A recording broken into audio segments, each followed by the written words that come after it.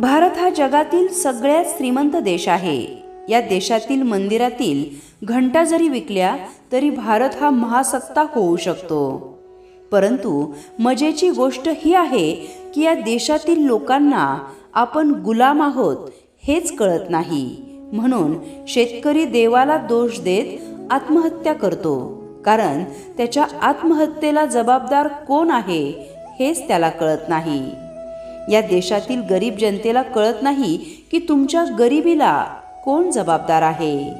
इथल्या तरुणाला कळत नाही तुमच्या बेरोजगार असण्याला कोण जबाबदार आहे.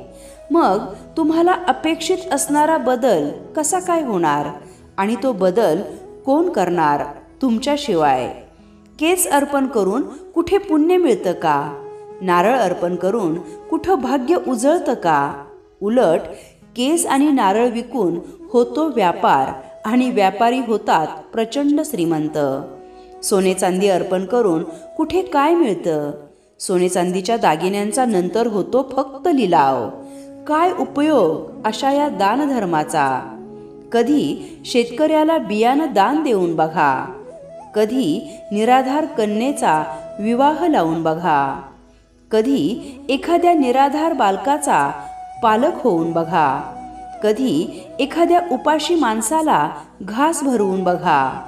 कधी एखाद्या अपंगाला आधार देऊन बघा. कधी एखाद्या शाळेचा जीर्णोद्धार करून बघा.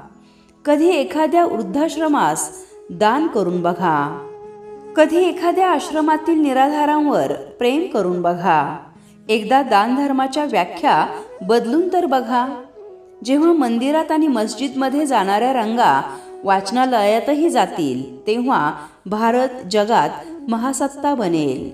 पुस्तकानं माणसाचं मस्तक सशक्त होतं आणि सशक्त झालेलं मस्तक कुणाचंही हस्तक होत नसतं आणि हस्तक न झालेलं मस्तक कुठेही नतमस्तक होत नसतं.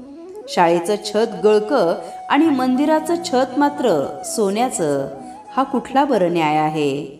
शाळेत आज मुलांना बसायला साधी फरशी नाही आणि मंदिराला मात्र संगमरवरी फरशी. शाळेला दोन रुपये देताना दहा वेळा चौकशा करणारा पालक मंदिराला दोन हजार देताना अजिबात चौकशी करत नाही. या सगळ्या गोष्टीमुळे आपला भारत नक्की महासत्ता होणार का हो? पायात घालायची चप्पल ए सीमध्ये विकायला ठेवतात आणि भाजीपाला फुटपाथवर विकायला असतो. आणि म्हणे आमचा देश कृषीप्रधान आहे आणि आमचा शेतकरी आत्महत्या करतो. शेकडो मैल चालतो वारकरी आणि विठोबाचं पहिलं दर्शन घेतो मुख्यमंत्री. सगळा न्याय अजबच आहे. दररोज सुंदर विचारांची शिदोरी ऐकण्यासाठी चॅनलला जरूर सबस्क्राईब करा.